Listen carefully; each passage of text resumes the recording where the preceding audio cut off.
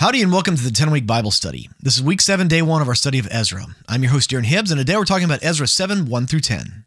Hey, real quick, if you'd like more info on the 10 week Bible study, head over to 10weekbible.com today. We've got lots of helpful resources, links to studies you can lead or read, and a place to sign up for our email list where we will send out weekly updates about the current study as well as news about upcoming studies. All right, thanks. With that, let's jump back into it.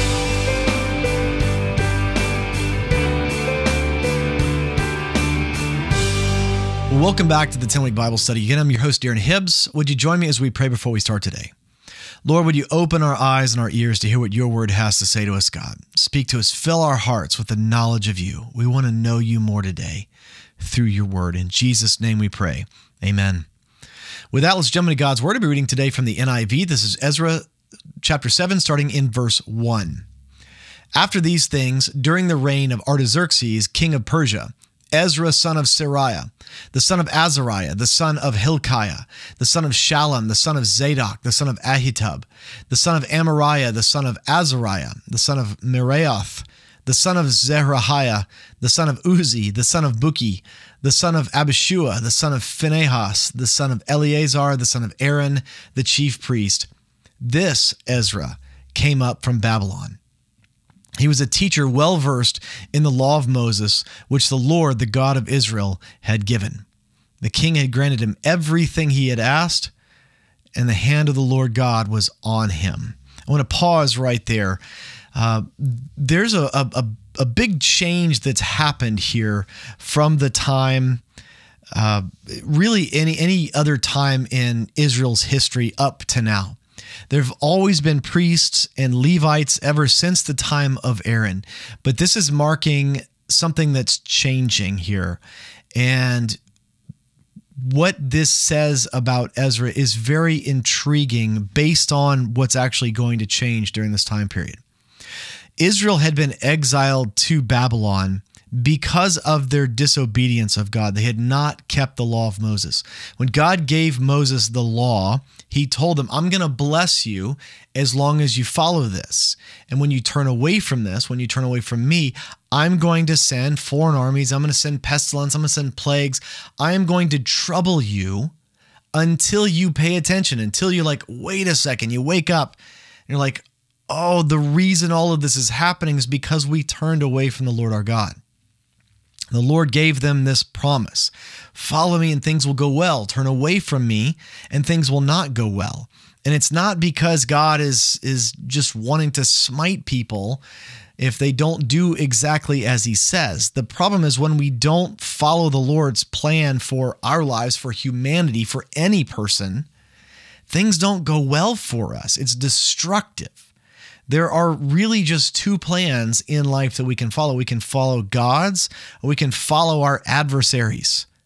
We can listen to that voice of the serpent in our head asking us, saying, God isn't really good. I mean, he's not really good. He's really not going to kill you. Surely not. I mean, look at how good this fruit is to eat for gaining knowledge. Surely he won't kill you just for gaining a little knowledge. That's the voice of the enemy. We have one of those. I mean, it's you know, it's like the old cartoon where you get the angel and the demon on one side. You know, Satan and and uh, the angel like whispering into your ear. That I mean, there's a lot of reality to that. And so Israel had turned their hearts away from God. They were following, and and one of the things, especially in that context, that was uh, a, very outward display of what was going on inside of them was that they were worshiping other gods, false idols during that time period. They were actually were bowing down and worshiping and making sacrifices to these other gods. And so eventually the Lord carried them away. They understood while they're in Babylon that the reason that this had come upon them was because they worshiped other gods. They had turned their hearts away from God. And so during that time in Babylon, something new begins to appear. And it's what develops into the synagogue system that's going to come after the exiles return, all the way until the time of Jesus. It wasn't just going to be the priests and Levites who are going to know the word of God. They wanted to start having a, a very structured environment to start teaching the law to people. And so, this mention here of Ezra being someone well versed in the law. Now, yes, he was a priest, and priests had always needed to know this, but that doesn't mean that they always did know the scripture. They didn't always know the law like this.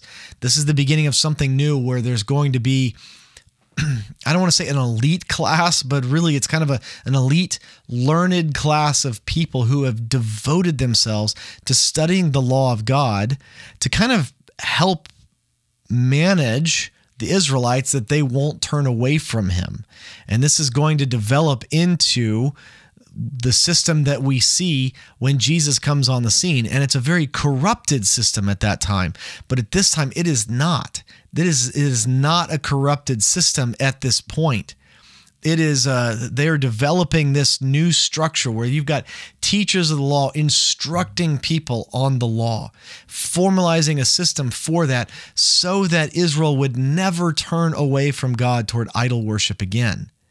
And that happened. That was effective. That worked.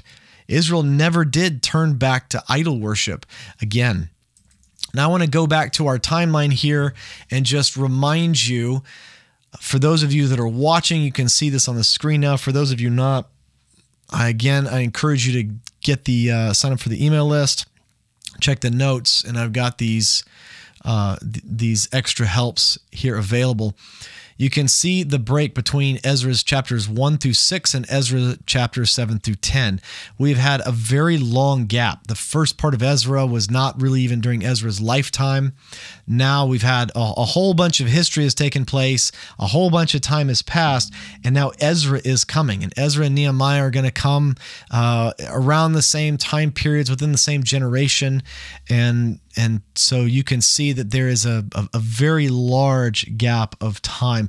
And these dates are um, they're approximate, but approximately 460-ish AD or BC, excuse me, is when Ezra shows up and the first 6 chapters ends somewhere around 515 BC. So there's been quite a bit of time. There's been, uh, you know, well over, or not quite a hundred years. We've had 70 ish years here go by. Uh, or, or, excuse me, 40 ish years go by. Um, and 20, 30, 40, 50. No, excuse me. We've had six, seven, yeah, 75 years ish go by. Again, all of those dates are, are, are not, uh, exact because we don't know exact dates for a lot of that, but they're pretty close. We've got well into a generation, 70 ish years, somewhere around then, from the beginning of this to now when Ezra shows up. All right, continue on verse 7. Some of the Israelites, including priests, Levites, musicians, gatekeepers, and temple servants, also came up to Jerusalem in the seventh year of King Artaxerxes. Ezra arrived in Jerusalem in the fifth month of the seventh year of the king. He had begun his journey from Babylon on the first day of the first month and arrived in Jerusalem on the first day of the fifth month. So it took him four months. For the Lord, for the gracious hand of his God was on him. Verse 10 For Ezra had devoted himself to the study and observance of the law of the Lord and to teaching its decrees and laws in Israel. So, what this is telling you is that he took four months to make this trip that presumably should have taken much longer, would have been more difficult, but he got there quickly. And, and our author here is telling us that, you know, this happened to him because he was someone who had devoted himself to studying the law. The Lord was interested in getting him and his associates to Jerusalem as, as fast as possible to begin teaching the law there. And, and here's the thing is during this time period, over in Babylon, before this time period, this system was being worked on of we need people who will be dedicated to to studying this and then teaching the law to everyone in Israel, not just the the educated elite. We need some educated elite people to study this, but they need to teach it to everybody. And so they were doing that and in the first batch, the first few waves of people that went back to Jerusalem and been working on it, it doesn't appear that anybody from that formalized or formalizing system had come back. And what we're going to find out here in the last few chapters of Ezra is it looks like it might have been necessary because they immediately started wandering away from the Lord. Ezra is going to come back and he is going to I mean, in some ways, reform and, and, beat these people. I mean, we're going to see that Nehemiah is literally going to beat people when we get to the book of Nehemiah. He is literally going to beat them for their disobedience and for turning away. And so, having the word of God ever before us is so important. Our hearts turn away so quickly if we don't have it ever before us. And that is what Ezra is on his way to do. For the 10 week Bible study, I'm your host, Darren Hibbs, and I can't wait to see you next time. Hey, thanks for watching the 10 week Bible study. If you've enjoyed this, would you consider doing that whole like and subscribe and bell thing you're always hearing people talk about? It really helps other people find out about the show, and my heart is for people to fall in love with God's Word. Thank you.